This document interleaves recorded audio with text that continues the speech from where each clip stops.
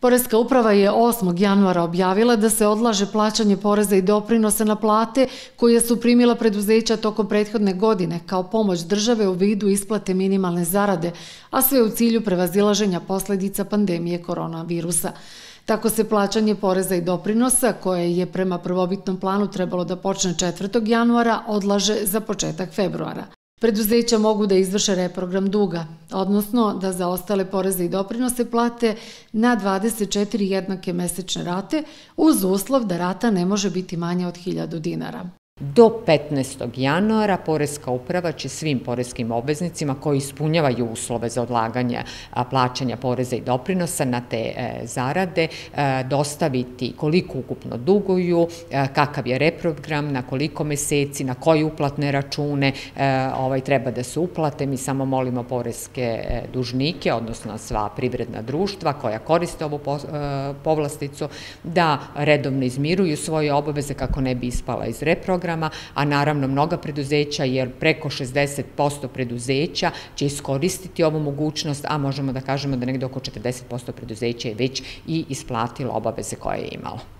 Prema podacima Ministarstva privrede, pomoć države koja se sastojala najpre od tri minimalne zarade, a potom još dva puta po 60% minimalca, iskoristilo je milion 50 hiljada zaposlenih u 235 hiljada privrednih subjekata u Srbiji. Ukupan paket državne pomoći privredi u prethodnoj godini bio je vredan 5,7 milijardi evra i imao je za cilj povećanja likvidnosti svih privrednih subjekata koja isplaćuju zarade zaposlenima. Ovu mogućnost iskoristio je najveći broj privrednih subjekata i u Čačku. Stiglo nam je rešenje, na, u narednih 24 meseca plaćat ćemo u ratama poreze i doprinose koje smo odložili.